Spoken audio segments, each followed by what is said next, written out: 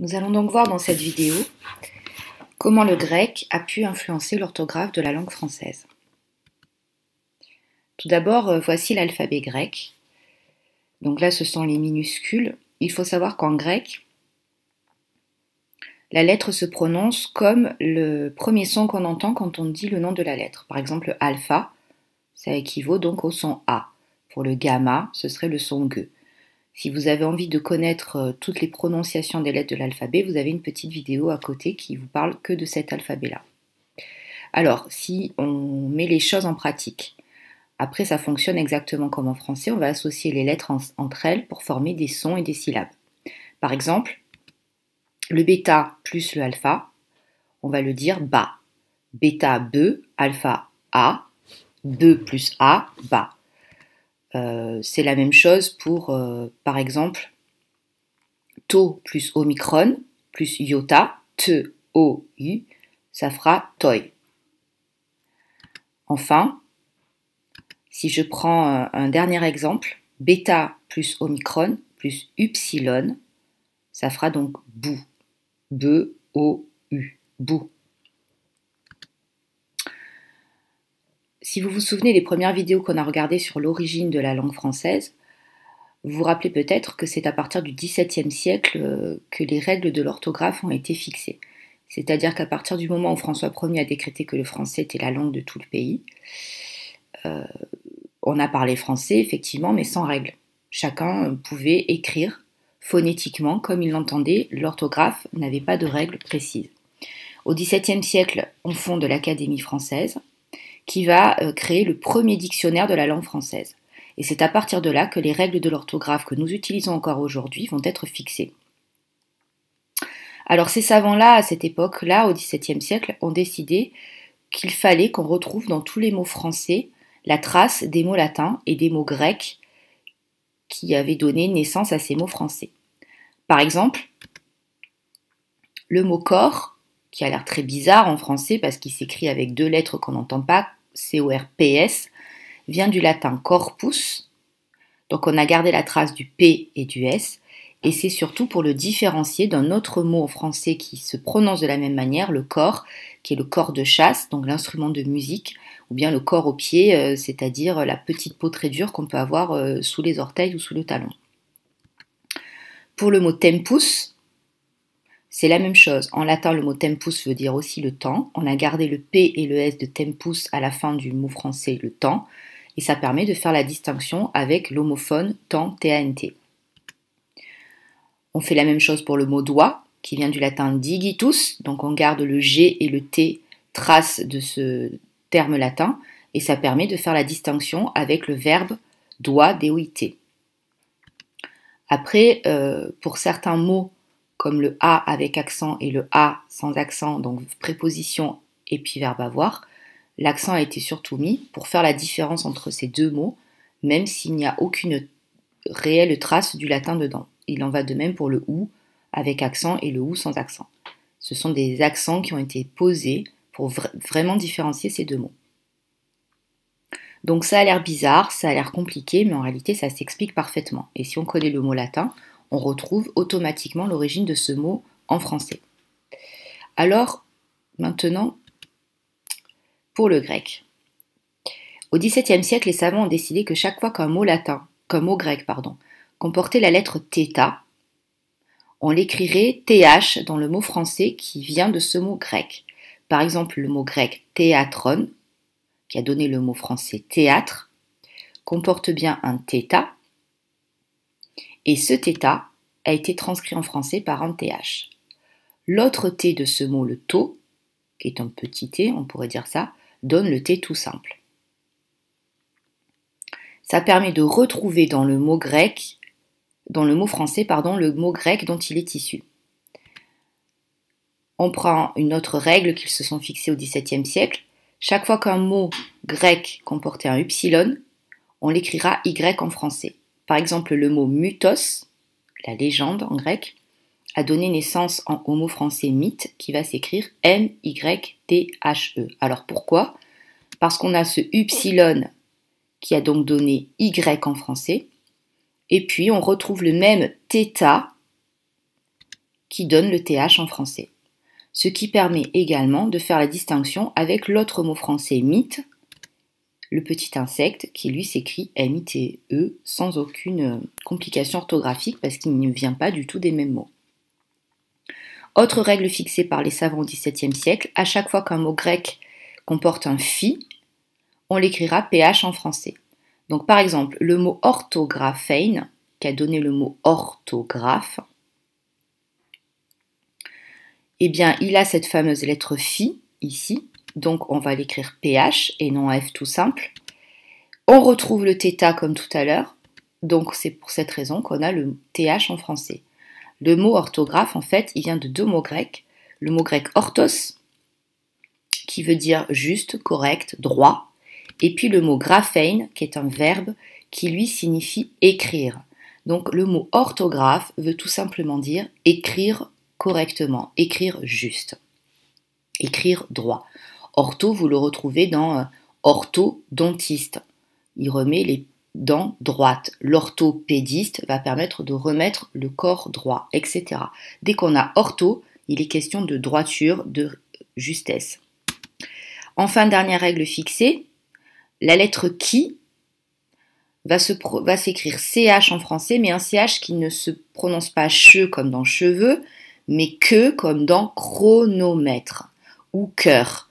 Par exemple, le mot chronos en grec, qui signifie le temps, a donné le mot français chronomètre en a ce qui, ce qui explique l'orthographe CH du français, le chronomètre, que de chronomètre.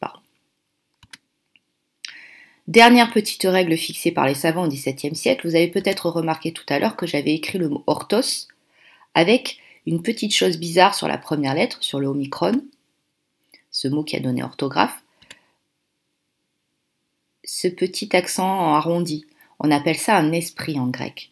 Tous les mots grecs qui commencent par une voyelle, et le omicron est une voyelle, comportent nécessairement cette petite virgule, cet esprit. Il y a deux sortes d'esprits. Quand l'esprit est dans ce sens, c'est un esprit doux, et on a décidé qu'il n'y aurait pas d'aspiration de H en français, puisque en grec ça se prononçait sans aspiration. En revanche, si on prend le mot hélicoptère par exemple, il vient, il commence par un H, il vient de deux mots grecs, le mot hélix, qui signifie hélice, et le mot ptéron, qui signifie aile. Vous voyez que dans le mot grec hélix, qui commence par une voyelle, le epsilon, on a aussi ce drôle de petit accent, arrondi, mais dans l'autre sens.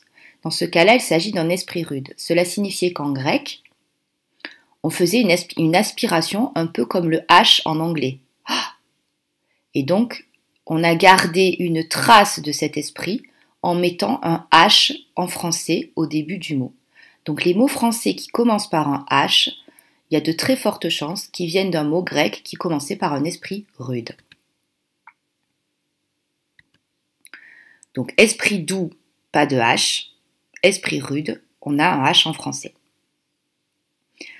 Bon, alors tout ça c'est très très compliqué et on se dit mais à quoi ça sert? Pourquoi est-ce que les savants se sont cassés la tête à ce point et pourquoi on se retrouve avec euh, plein de lettres bizarres qui servent à rien dans la langue française?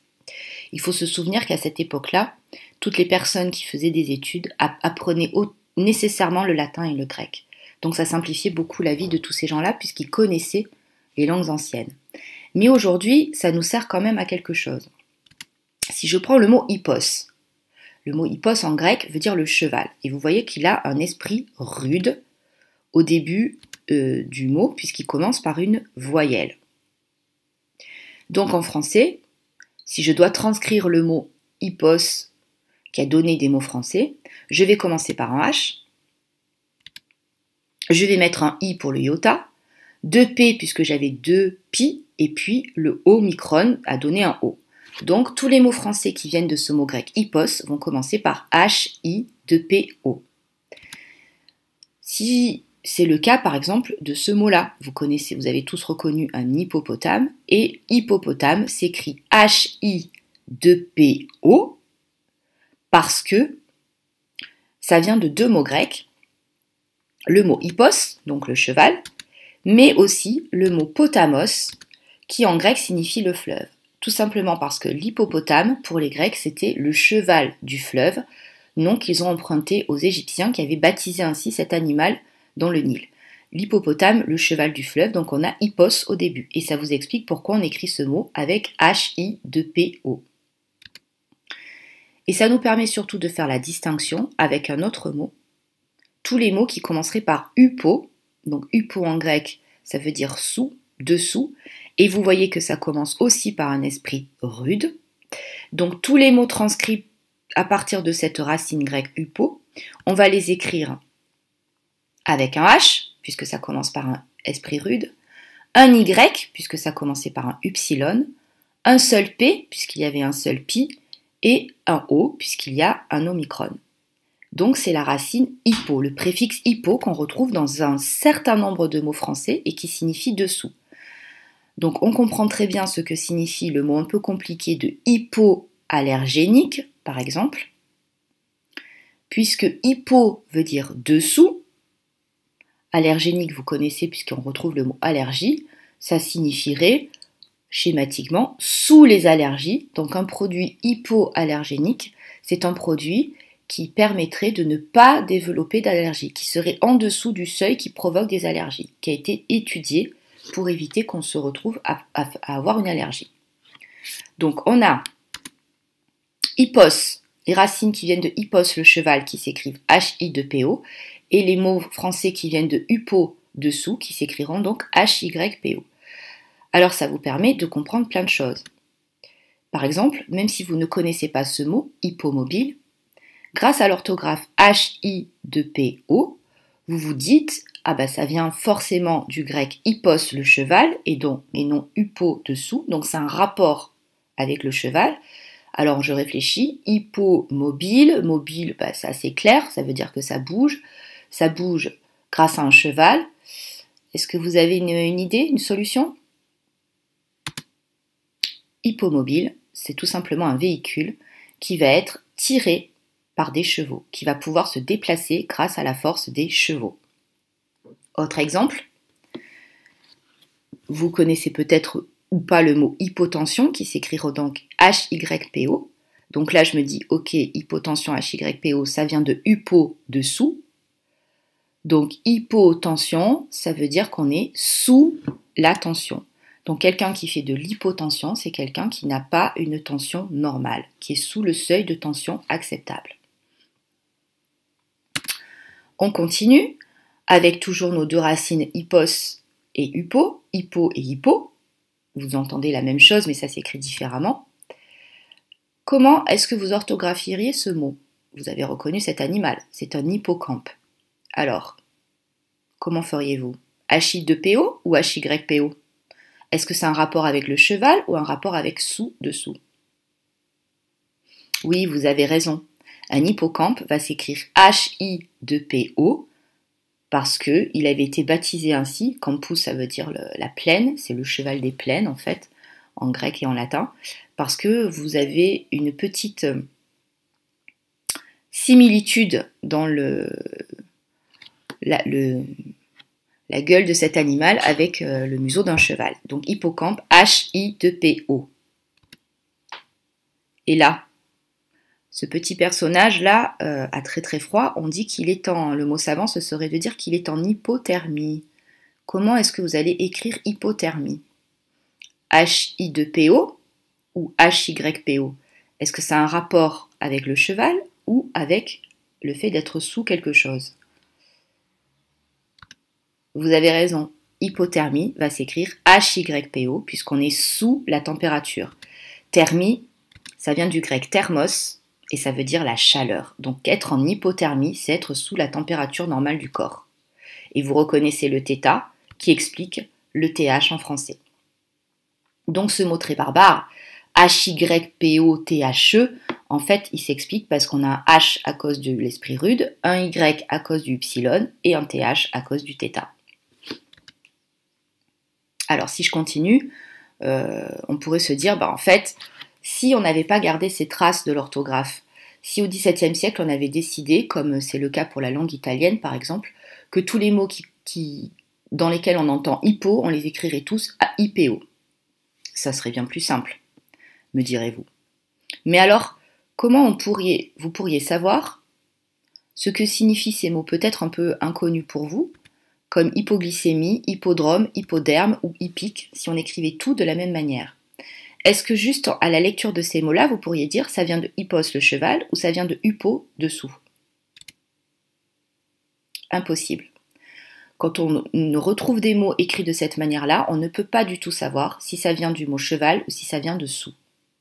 Alors qu'avec l'orthographe actuelle, hypoglycémie, vous me dites tout de suite, ça vient de hypo. Donc hypoglycémie, c'est qu'on est sous le taux, glucose étant le sucre, sous le taux de sucre normal. Hippodrome, quand vous le voyez écrit HI2PO, vous vous dites, ah ça vient de hippos le cheval, c'est un rapport avec le cheval, dromos c'est la course, l'hippodrome c'est le lieu où peuvent courir les chevaux. Hypoderme, vous connaissez certainement l'épiderme, dermos c'est la peau, hypo écrit HYPO, vous comprenez que c'est donc une couche qui est sous la peau. C'est-à-dire, euh, vous savez que la peau est constituée de plusieurs couches, c'est une peau en dessous de la surface. Et puis le dernier, hippique, écrit de cette manière-là, H-I-2-P, vous comprenez que c'est un rapport avec le cheval, c'est un adjectif qui veut dire que c'est un rapport avec le cheval, une course hippique, une course de chevaux. Sans l'orthographe, qui a l'air très compliqué, vous ne pourriez pas retrouver l'origine de ces mots-là, et vous ne comprendriez pas ces mots compliqués quand vous les rencontrez dans un texte. Donc finalement, ça veut dire que quand on connaît le latin et le grec, bah, le français c'est facile, et surtout l'orthographe du français est très très logique.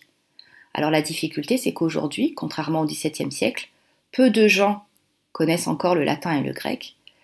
Donc si vous choisissez cette option, vous allez pouvoir comprendre beaucoup de mystères de la langue française. Je vous propose de faire des petits jeux qui sont à côté pour vérifier si vous avez compris tout ça.